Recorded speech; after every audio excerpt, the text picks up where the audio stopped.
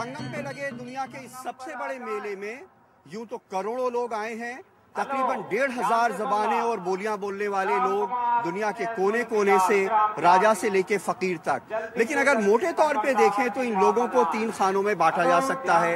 एक वे लोग हैं जो मोक्ष के लिए आए हैं जो तकलीफों फरेबों और नफरतों से भरी इस दुनिया में बार बार नहीं पैदा होना चाहते। दूसरे वे लोग हैं जिन्हें गंगा की कशिश यहाँ खींच लाई है।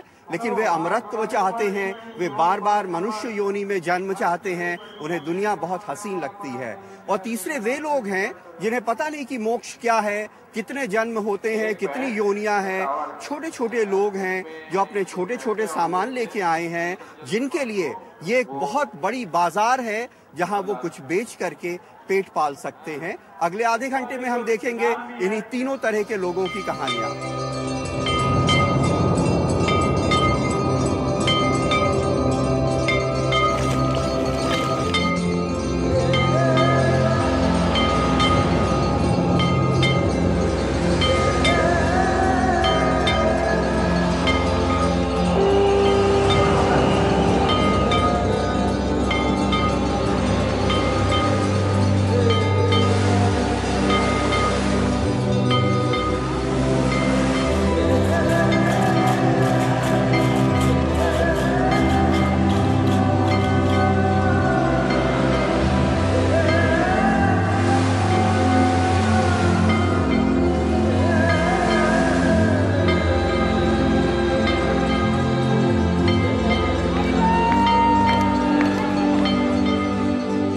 कहते हैं कि कुंभ में 12 साल तक कल्पवास करने से मोक्ष मिलेगा।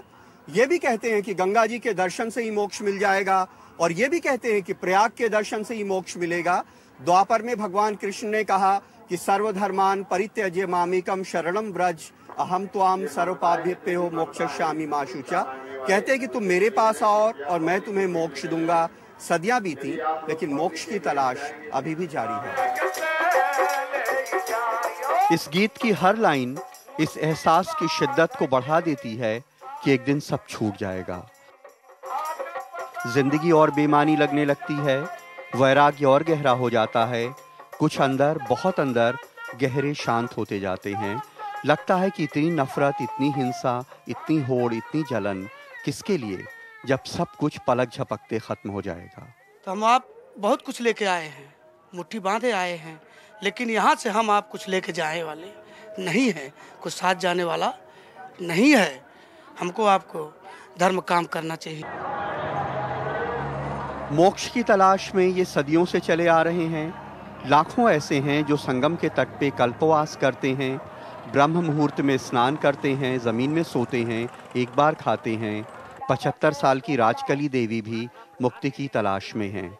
पंद्रह साल की उम्र में ब्याही गईं आठ महीने में पति की मौत हो गई अब फिर पैदा होने की चाहत नहीं है। कर बस यही तय करते ही भैया कि हमार ऊ लोग बने हम तो सब बर्बाद हो गया। हम सुख का संसार जनबन के कैसे होत है?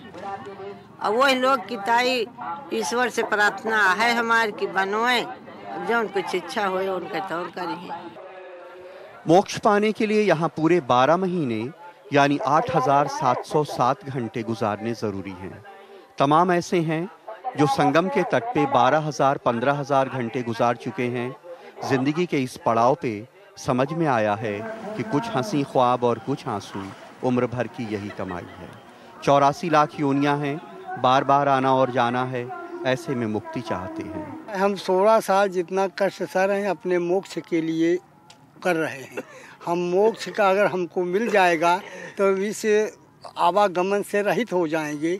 हमको फिर इस पृथ्वी पर मृत लोक में आने की ज़रूरत नहीं पड़ेगी।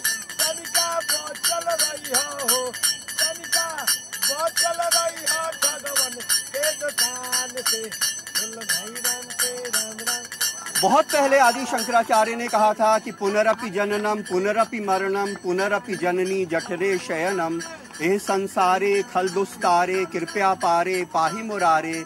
भज गोविंदम भज गोविंदम गोविंदम भज मूढ़ मते। बार बार मरना बार बार जन्म लेना बार बार माँ की कोख में आना, इस दुनिया में बार बार आने से मुक्ति का एक ही मार्ग है। कहना दान मन, तू प्रभु का भजन कर।